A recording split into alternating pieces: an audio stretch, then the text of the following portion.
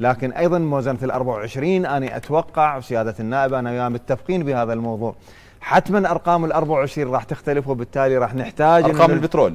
كل شيء. إيه، بالنهاية إذا رقم البترول تغير تغيرت الأرقام كلها. طبعا. فنحتاج نرجع مرة أخرى للبرلمان وش وقت راح نرجع للبرلمان هو على, فكرة م. اللي أدري به إنه الموازنة يعني لابد من العودة. لابد من العودة. لا لا أقول لك يا لابد من العودة لأنه الأرقام راح تتغير.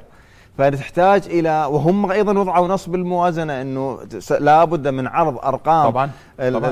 النفقات والإيرادات لعام 24 و25 على البرلمان فهذا أيضا ممكن إنه يكون واحد من التحديات لأنه هذا التحدي شو راح يصير؟ مم. أكو عندنا انتخابات راح تجري إن شاء الله لمجالس المحافظات أعتقد يوم 18 شهر 12 أي فمعناته البرلمان من الشهر العاشر ما راح يلتحق ويجوز قبلها لأنه راح يشاركون بالحملات الانتخابية سواء كانوا مرشحين أو داعمين وما راح أيضا يكتمل نصابه يجوز للثاني للثالث من العام القادم.